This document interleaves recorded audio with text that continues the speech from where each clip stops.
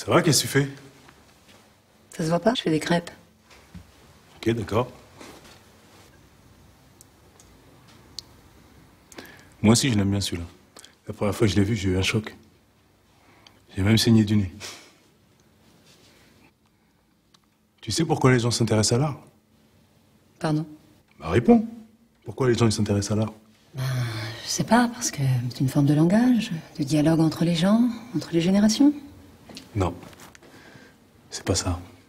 C'est parce que c'est la, la seule, la- le seul passage de la trace.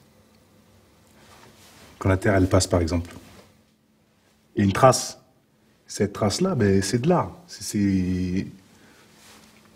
Tu vois ou pas? Ah ouais Les couleurs aussi, elles sont belles, je trouve, des fois, parce que... Il y a comme un... Jeté de... Tu vois? Perspective, quoi. Ça enjolive. Tu t'intéresses à la peinture, toi? Bah oui. Je passe beaucoup de temps avec Philippe, donc euh, j'observe, j'écoute. D'ailleurs, ce soir, j'ai une expo tout seul. Ça m'aurait fait plaisir que tu viennes, que tu me donnes ton avis. Ça va? C'est moins basique comme approche, ça? C'est où? C'est dans une galerie? Non. C'est ma salle de bain. Quoi? Mais quoi? C'est... c'est- bon. Tu veux pas te laver, alors? T'es trop con.